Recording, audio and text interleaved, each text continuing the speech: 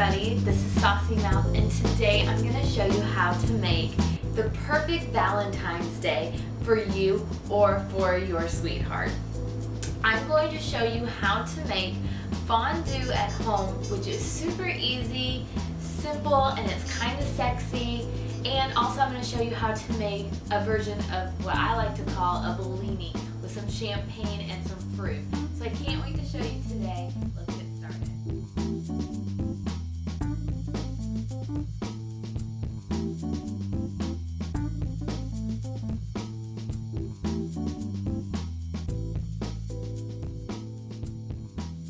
get Alright, so to get started today, we're going to need a fondue set.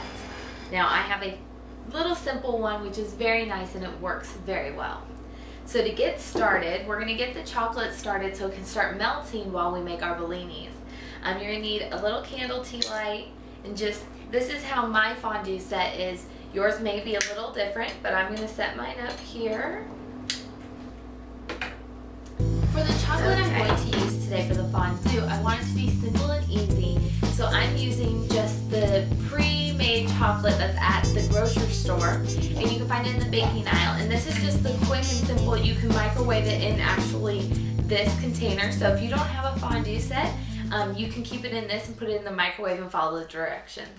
But I'm putting the chocolate chips, and they're little wafers like this, in, and we're just gonna let them melt because the fondue set will melt them all.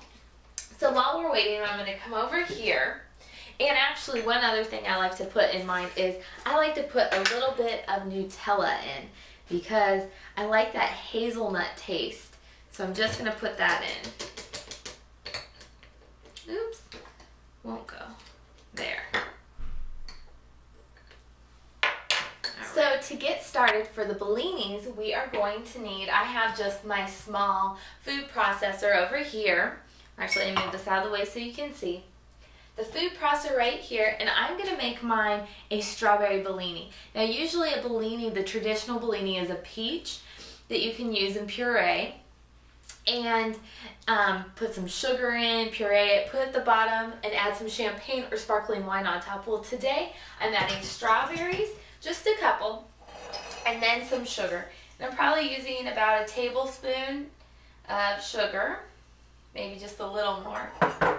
And then I'm going to add in just some orange zest, just to give it an extra added flavor. I'm top on and I'm going to pulse it for a couple minutes. We want this to become a puree. So our puree is ready and now the next step is we need to open our champagne bottle Let's see if I can do this. Oh, there it goes. Ah, there we go. Now, if you want, you can go with a more expensive champagne and pop the cork and make it this big extravagant thing. But, so I have the champagne and then I have my champagne flutes right here. And I'm going to take the puree mix, pull it out here. I'm actually going to need a spoon because I'm scoop this out. And probably about just a teaspoon or a tablespoon just to your liking. We only want it a little bit up because we're going to add in the champagne and there is a lot of sugar, remember, and the strawberries in here to make it sweet. So, and I only put about, I think I put four strawberries in with um, a tablespoon of sugar. So that's just to make two of these. All right, perfect. So we have them here. So you just want maybe an inch up high in the champagne glass. I'm just gonna pour the champagne in. Ah.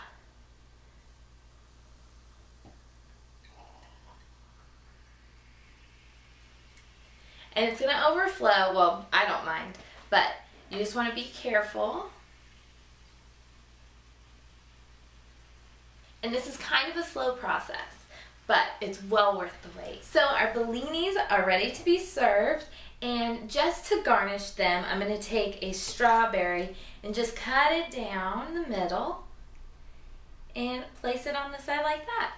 Now I like to keep the stem on so the green is shown Um, it just makes it look more fun to me, but you can always take that off and add it there.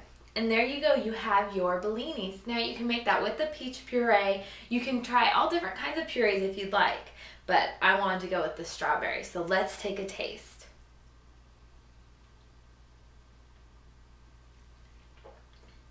Oh, so great. That strawberry and that sugar really help out the champagne to make it a little more sweet and it's really nice.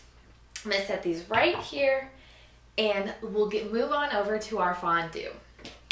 I'm gonna check on it here and just see how we're heating up. Oh, it looks beautiful. So to get started for our fondue today, I have an array of fruit and I have um, marshmallows, big ones, and I have a vegetable which is a jalapeno.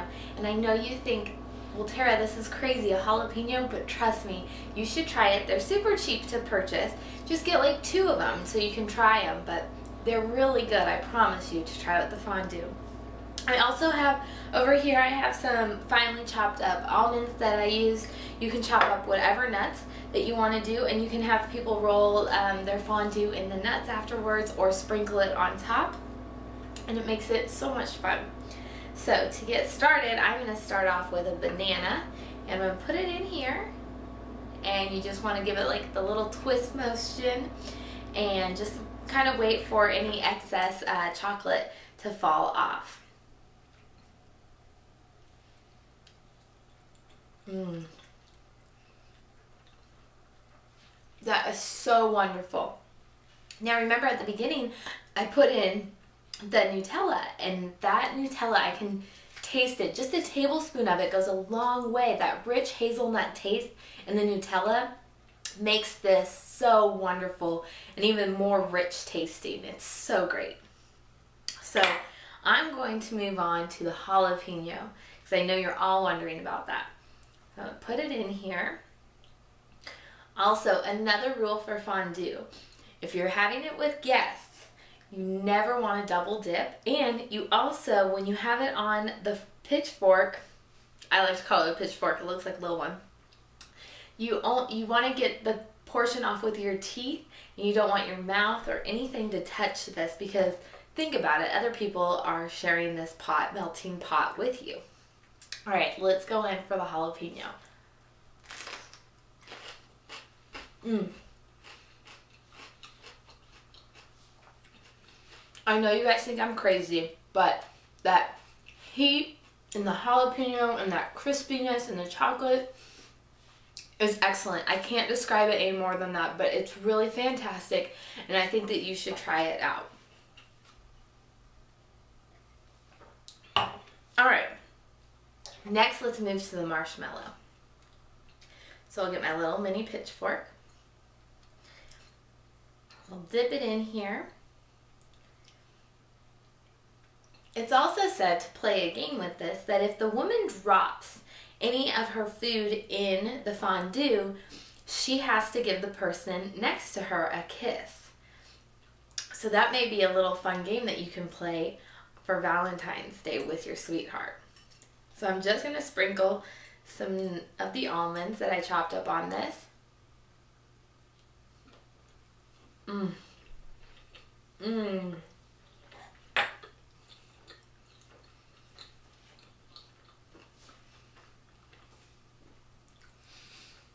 That marshmallow is so good in the chocolate. It is excellent. Next what I'm going to do is I'm going to do the strawberry. And I know this is going to be good because I love chocolate covered strawberries.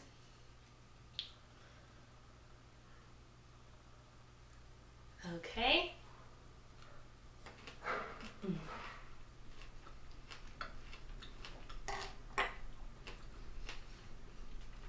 Fantastic. The best thing about fondue is you the possibilities are endless. You can use whatever fruit, vegetable, or you can use cookies and pretzels and dip them.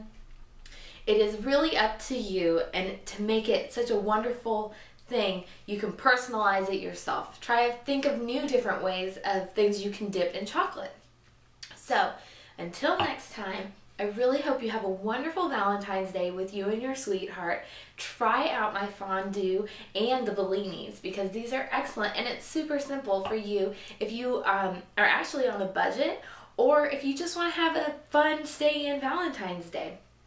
This is something that I really recommend and hope you try. Check out my website at www.saucymouth.com. You can find me on Twitter and you can find me on Facebook. I really hope you try this. Enjoy and happy Valentine's Day. Thanks.